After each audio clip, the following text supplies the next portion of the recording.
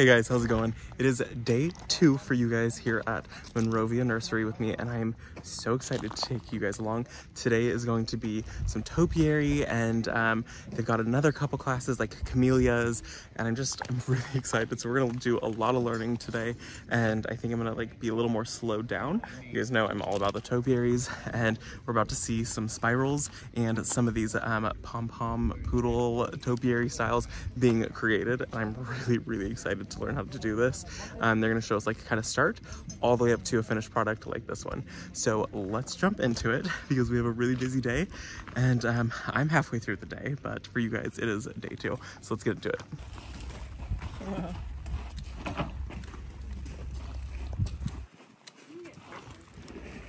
So he's turning this one into the pom-pom. Into a pom pom. Goes right in the middle. Shopping. Shopping, exactly what it is.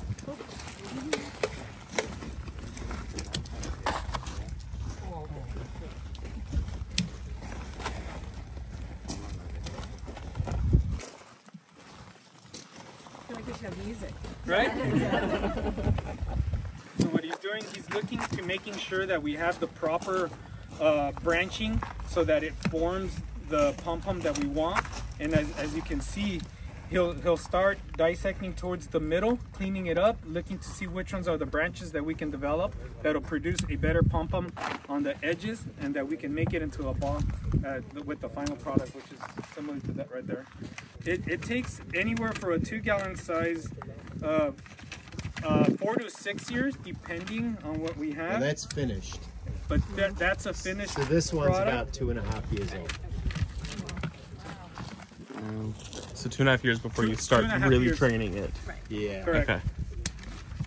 It's Yeah. five years old, just in a two gallon. So you can imagine how old those ones over there are. So you guys will continue to grow this on for another two years after this. Correct. To get to this.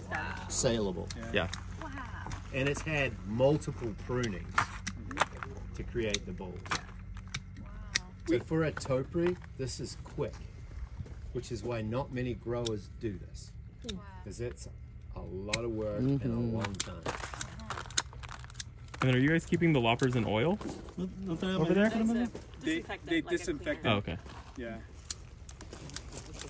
So when you are doing this and you're going from juniper to juniper, you can you could pass a disease from one plant to the next. So mm-hmm. between every plant, they're going to disinfect. There's a technique and method that he uses.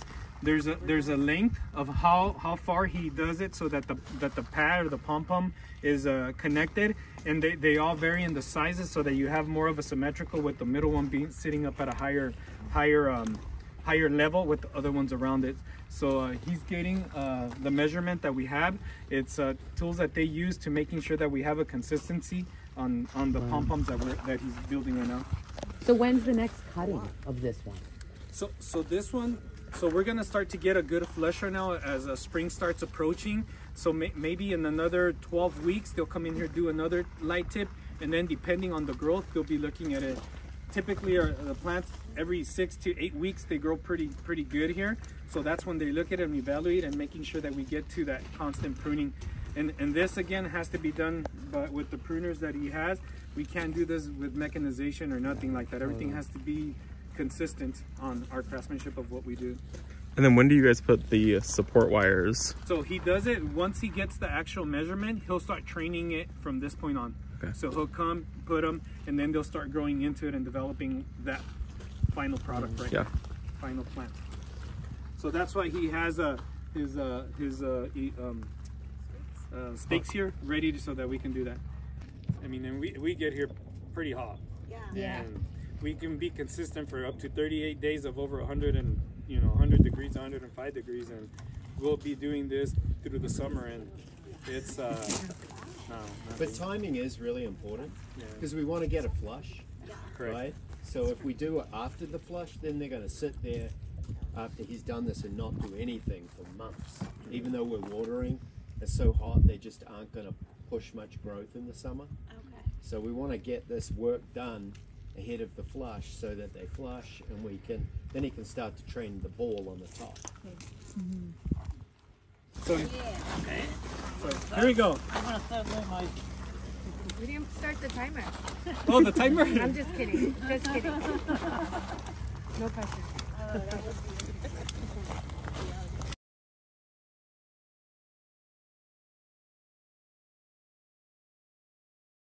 So we have to prune it again and again and again. Each time we're shifting it to a larger. That's what I was totally. Okay, so this is how it starts out with these little teeny tiny liners. This little plant, it'll stay like that for about one year, two months, and it gets potted up into the next one, and it stays like that for one year, four months. And then it goes from that to being trained, which we just saw it being trained. And then, you know, you can see the structure down here. And this is one that needs to be sheared back again, and it'll stay like this for two years, three months. And then this is it. This is the final finished product. And then these are the 15 gallons that they have. These are the um, pom-pom style. And then they've got the spiral topiaries that we saw get trained up. And then you can see they have spirals that just go on and on and on. There are so many of them. And they said that these pom-poms are the ones that take the longest to grow before they're ready to go out into the public and be sold at nurseries. So this is the biggest size and these are the ones that take the absolute longest.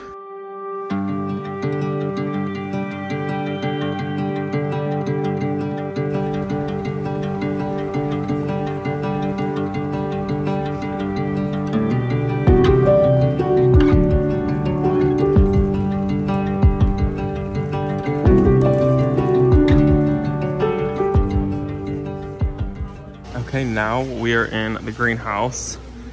This is mostly what? Mandevillas? Mandavia. Yep. Mandevilla. Okay. Massive greenhouse.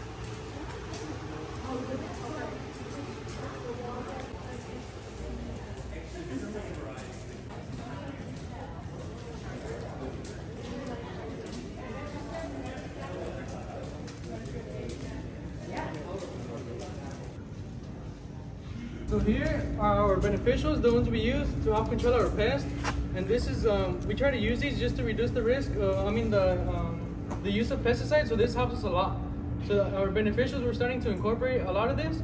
And um, for example, these, this one is called an aphid which is like a parasitic wasp.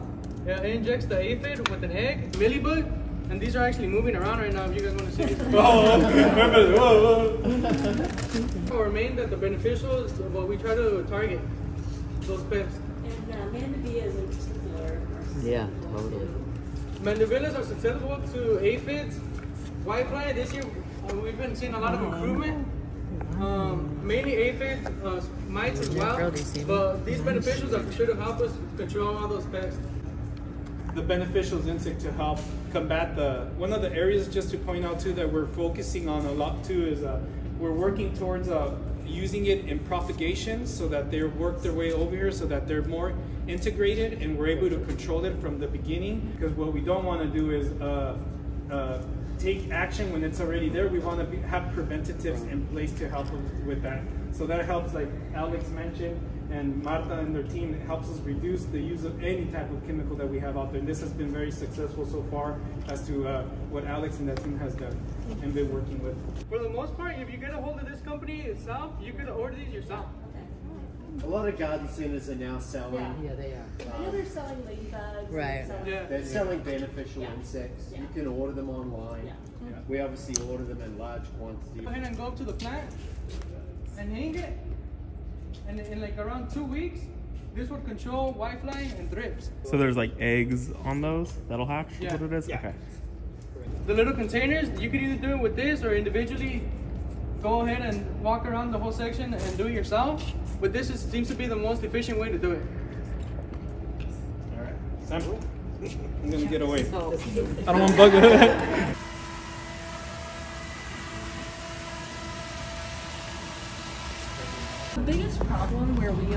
we are, Leslie, in Oakland is aphids. I mean, I can go out and see like, uh-oh, I've got, they're just all over it.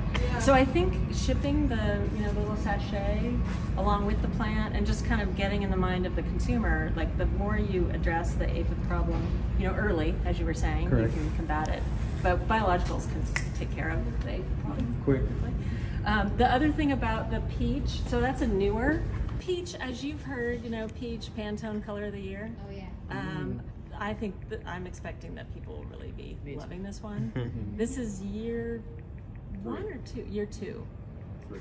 that we've been selling it. Three. Three, really? We But now we now have enough, I guess. We now have enough that we can talk about it. Trees, indoor, outdoor, shade. Yes. I mean, just just stunning. Really stunning. Yeah. Do they get used So begonias grow their foliage one way, their leaves one way. So we put two plugs per pot and we orientate the foliage so that we can get a fuller plant that'll give you foliage all throughout the container. We call this Caldera. Uh, that's the tec- Tectonic series. They're all named after different, uh, um, so we've got Pretty earthy. yeah, yeah. So they're, they're all they're all named at uh, different names, but each each leaf on this guy, That's it. Wow. two feet across. Yeah. Wow Yeah. really special. That's gonna be Yeah, it's really cool. Yes. And it does get a flower, uh, but it's white and it isn't super showy. But the flower sits up under the Right. foliage. It looks really cool. It is cool. In the wild at Vietnam, oh, it was eight foot tall. I've never seen a real one in my face, but I've seen them. Yeah. So it's really cool. Now, how quickly will it get to that really good? So in the right environment, shade, okay, understory, um, and you're going to get um, by the end of this year that it, the leaves should be kind of 12 inches across. And then if you've got it in the right environment, that following year it'll get there quick and go from there. Do you guys already have this one out on the market? yeah. Okay. Yeah. And this is another one that we introduced, and then we get enough quantity, and then you can really find it. So this is the little crop right here. It does well. It's hardy to zone seven, so it's a lot more hardy than some of the other varieties.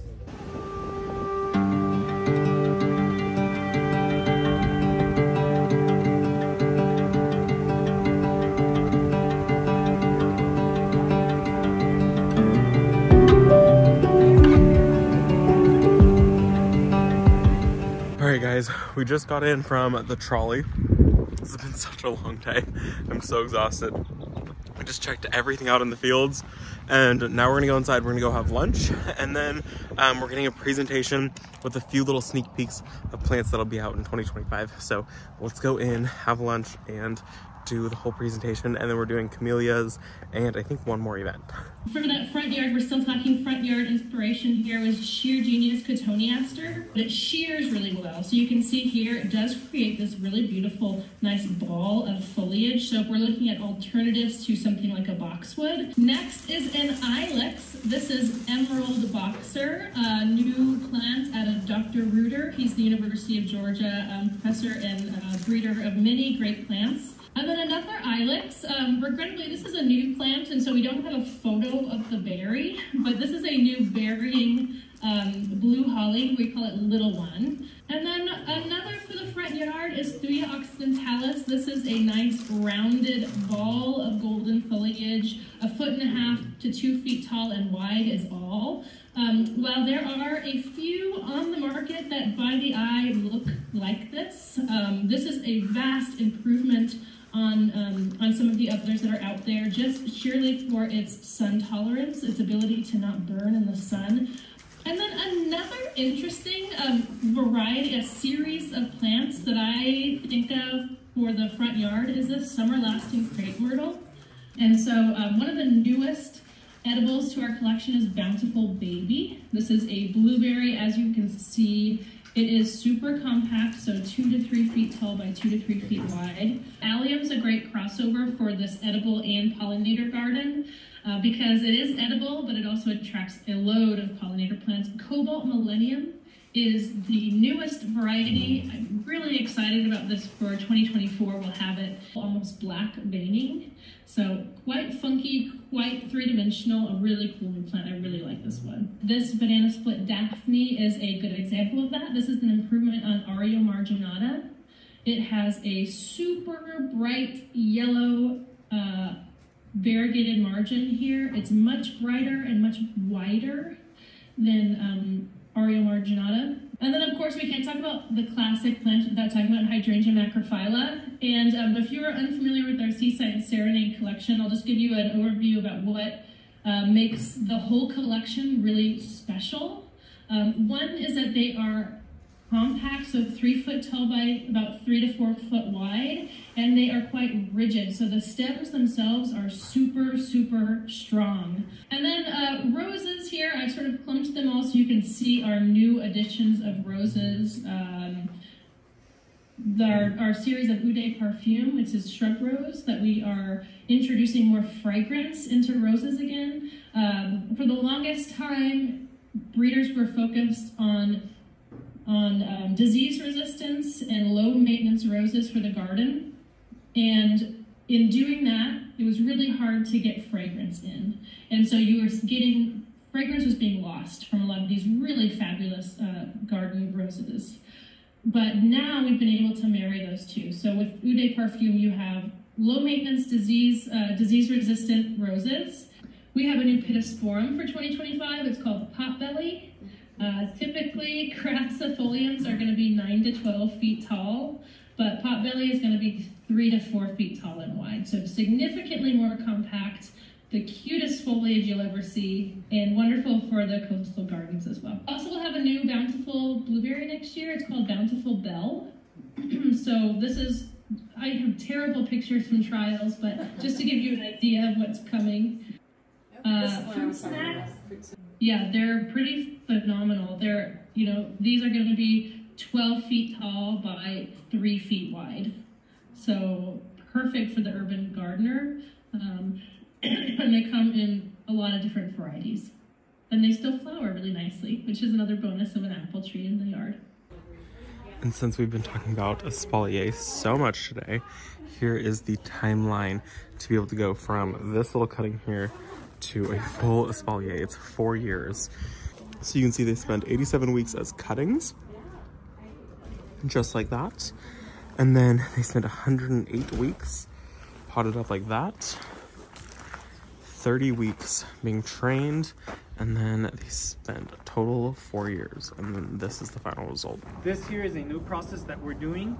This was the old method that we that we were doing, where it was just one liner that it would take us another two additional years to produce a camellia. Um, when you do this, it produces lots of buds, uh, lots of buds when we're doing the pruning here correctly. However, with that, you'll get two times more the amount of flowering and bud set.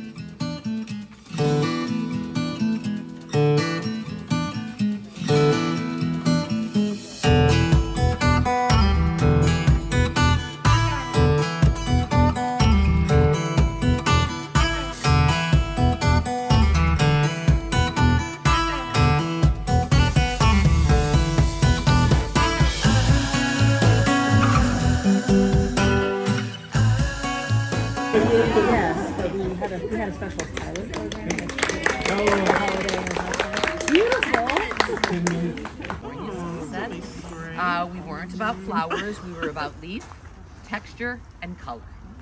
And by Jove, I think we got it. There you have it. If I'm je m'appelle. It does look great. Okay, California container. We chose this one because um, we wanted lots of different texture. We wanted lots of different colors, but we wanted everything to kind of flow together. We also wanted people to be able to put this on their patio and it not have to be hooked up to drip irrigation. If it dries out for a few days, everything that's in here will be fine. Very nice. And then so we chose this. This is a hopseed bush because it's an evergreen and not many people in California are using this. And so we wanted to bring it in there. It changes colors. You get bright green, which ties back into the grass in the summertime. And then you get this burgundy color in the wintertime, tying into all of our succulents. And then we wanted it to have a beautiful smell too. Nice. Yeah. Call it moody. Oh, love that. That describes me perfectly. Me too. Um, just to sit patio side, you get the fragrance of the rosemary, the lavender, pop of purple. Uh, the mangaves, just because it's such a cool plant, we couldn't resist it. And then the black mondo grass to kind of just set it off, give it that yeah. So we did a container challenge and these are our containers. This was my groups. We have the hopseed bush. We have some grasses in here, some sedum, some lavender. And then this is the next one with rosemary in here. So delicious. An agave, lavender, and some black mondo grass. And then this one, they described it as like a California sunset. And they did all kinds of different things, an abelia, some succulents, some more sedum. This is the little ragu. You guys know I love the little ragu, sweet bay, just like a huge color of plants in here. This one's really, really pretty. And I mean, just the uses of, you know, reds and purples and blues and greens and just every color in this California sunset one. All right, you guys, that is gonna be it for this video. This was a whole day. This was so much. And you can see all of the crazy things behind me. It was just an amazing trip and I met some amazing people. And I'm so glad that I was able to take you guys along with me. It was so much fun. So I'm gonna head home. I got five hour drive, five and a half hour drive. It's a long one. I will see you all in the next video. Bye guys.